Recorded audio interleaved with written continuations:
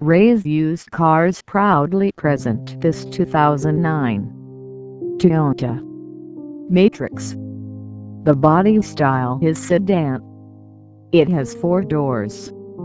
Transmission is automatic. Drivetrain is front-wheel drive. Exterior color is silver.